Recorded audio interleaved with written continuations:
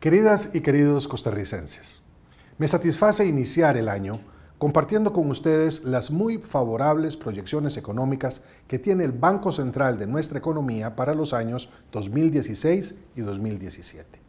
A pesar de los pronósticos de desaceleración de las economías latinoamericanas, Costa Rica muestra un comportamiento de crecimiento y dinamismo basado en la estabilidad del tipo de cambio, la baja inflación, la solidez de las reservas monetarias internacionales y el crecimiento de nuestra producción cuyo ritmo es superior al promedio mundial. Esto significa que el 2016 será un año de mejores condiciones para generar empleo, dar estabilidad y mejores expectativas a las empresarias y a los empresarios, mejorar la atracción de inversión extranjera, mantener el poder de compra y atenuar las presiones al alza en las tasas de interés. El Banco Central pronostica que el sector agrícola se reactivará, el industrial recuperará niveles positivos y el sector servicios mantendrá su dinamismo. Llevamos siete meses de crecimiento ininterrumpido de la producción que confirman la tendencia al alza en el dinamismo económico de Costa Rica.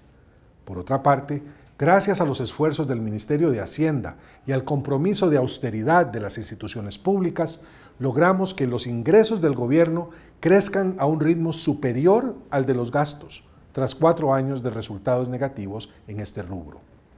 Los esfuerzos de reactivación de la economía, de reducción de gastos y mejora en la recaudación son los responsables de estos frutos que con gran optimismo, que con gran esperanza les presento hoy.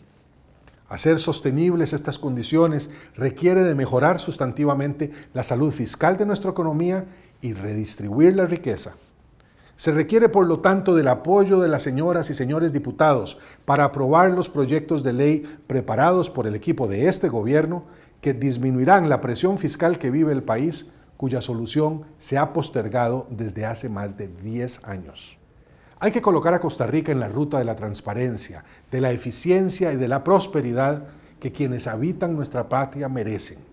Pero sobre todo, mejorar la calidad de vida, la inversión social y la infraestructura que nuestras familias necesitan y demandan. Les deseo un venturoso 2016. Que pasen buenas noches. Por una ciudadanía mejor informada, visite gobierno.cr.